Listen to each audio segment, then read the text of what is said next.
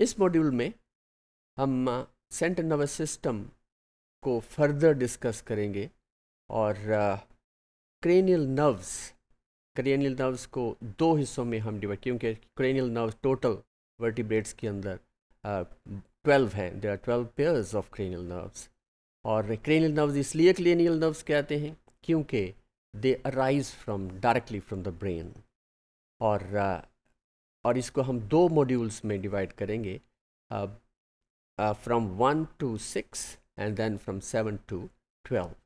तो इस मॉड्यूल में will be discussing cranial nerves और इसका ओरिजिन और इसकी इनोवेशन तो ये तमाम तमाम चीज़ें डिस्कस होंगी। This the ventral part of the brain जहाँ से ये मुख्तलिफ़ nerves which all arise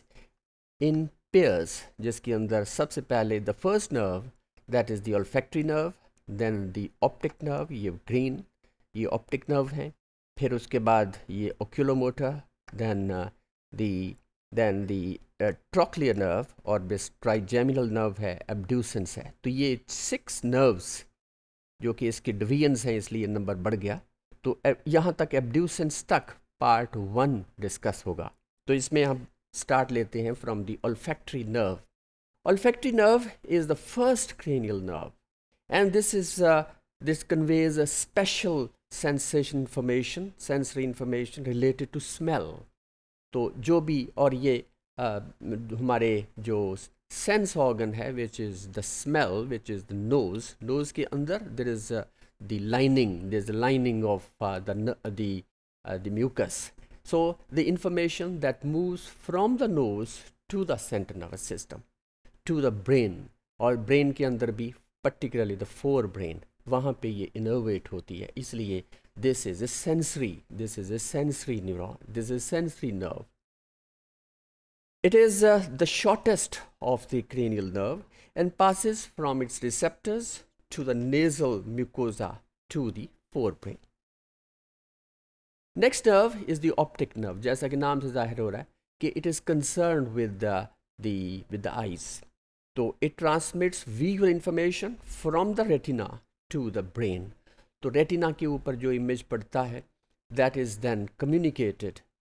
through the optic nerve to the visual center which is located in the brain which is located in the brain next is uh, the third uh, cranial nerve that is the oculomotor, oculomotor nerve. It uh, enters the orbit and innervates muscles that enable most movement, that muscle movement,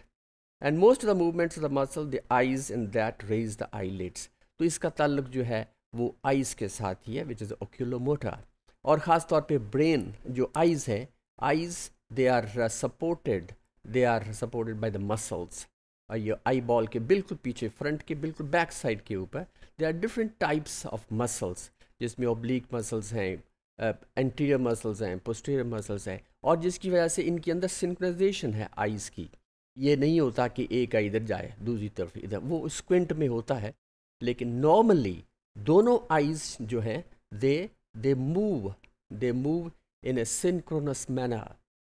इसके अंदर बड़ी coordination होती है। और यही जो movement है this is under the control of the brain it is under the control of brain और ये information that moves to the optic nerve that moves to the optic nerve that moves through the optic nerve now next is the trochlear nerve which is the fourth cranial pair of nerve it innervates only single superior oblique muscles जैसे हम पीछे ओक्यूलोमोटर का ज़िक्र किया। लेकिन यहाँ पे सिर्फ़ ओब्लिक मसल्स हैं जो कि ब्रेन को, जो कि आइज़ को, जो कि आइज़ को मूव करते हैं तो ये सिर्फ़ ट्रॉकलियर नर्व ही है, उसको सप्लाई करती है। तो it controls the downward movement of the eye ball जब हम नीचे देखते हैं तो this is through the trochlear nerve जहाँ से इंफॉर्मेशन आती है। Now next is the trigeminal nerve This, it, it, this is a nerve which is responsible for sensation in the face and motor functions such as biting and chewing.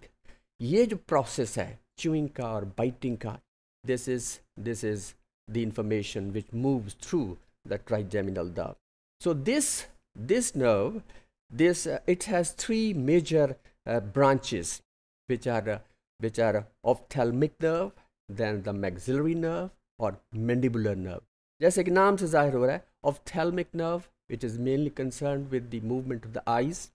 then the maxillary nerve, जो कि maxilla है जो हमारी body के अंदर this part is the maxilla portion and then the mandibula which is the lower jaw तो यहाँ से जो नर्व्स हैं क्योंकि एक और मैं बताना चाहूँगा बात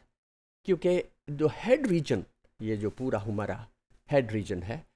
it has all the five senses जिसके अंदर आइज़ हैं ईयर्स हैं नोज़ है टंग है स्किन है। तो तमाम ये सेंसेस जो हैं दे आर प्रेजेंट और यहाँ से it is directly supply direct supply of the brain तो इसलिए जब कोई भी four footed animal particularly when it moves from one place to other तो it keeps it head in front because because it explores the environment if the environment is suitable then this animal will move will move forward लेकिन बात यह है कि अब human के अंदर कि ह्यूमन के अंदर है, जैसे हमने बात पिछले मॉड्यूल्स के अंदर ज़िक्र कर चुके ये इंसान जो है, ये human it has become bipedal it has ये टू फुटेड हो गया है, लेकिन अगर आप इसको, इसकी अर्ली स्टेजेस देखें, जैसे बच्चों में,